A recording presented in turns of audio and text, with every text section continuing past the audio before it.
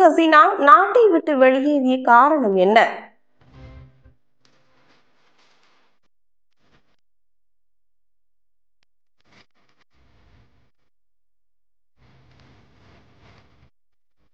ஷேக் ஹசீனா நாட்டை விட்டு வெளியேறிய காரணம் என்ன? அண்டை நாடான வங்கதேசத்தில் சுதந்திர போரில் பங்கெடுத்த வீரர்களின் வம்சாவளிகளுக்கு அரசு வேலைகளில் முப்பது சதவீத இடஒதுக்கீடு வழங்கப்படுவதற்கு எதிர்ப்பு தெரிவித்து மாணவர்கள் சங்கத்தினர் போராட்டங்களில் ஈடுபட்டனர். தொடர்ந்து உச்சநீதிமன்றம் வழக்கில் தீர்ப்பால் போராட்டம் கைவிடப்பட்டது.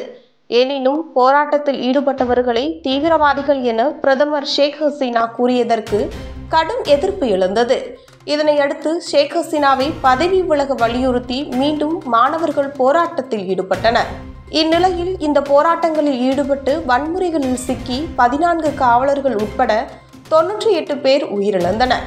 மேலும் முன்னூறுக்கும் மேற்பட்டோர் காயமடைந்துள்ளதாகவும் பதினோராயிரத்திற்கும் மேற்பட்டோர் கைது செய்யப்பட்டுள்ளதாகவும் காவல்துறை அதிகாரிகள் தெரிவித்துள்ளனர். இதற்கிடையே வன்முறைகளை கட்டுக்குள் கொண்டுவர நாடு முழுவதும் ஊரடங்கு அமல்படுத்தப்பட்டுள்ளதாகவும் பொதுமக்களின் இயல்பு வாழ்க்கை பெரிதும் பாதிக்கப்பட்டுள்ளதாகவும் அத்துடன் அந்நாட்டின் அனைத்து இணைய சேவைகளும் முடக்கப்பட்டுள்ளன.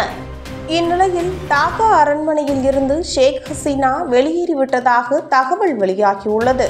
தனது சகோதரியான ஷேக் ரெஹனாவுடன் ஷேக் ஹசீனா பிரதமரின் அதிகாரப்பூர்வ இல்லமான கனபாபனை விட்டு ஹெலிகாப்டர் மூலம் பாதுகாப்பான இடத்திற்கு சென்றுவிட்டதாக செய்தி நிறுவனங்கள் தெரிவித்துள்ளன.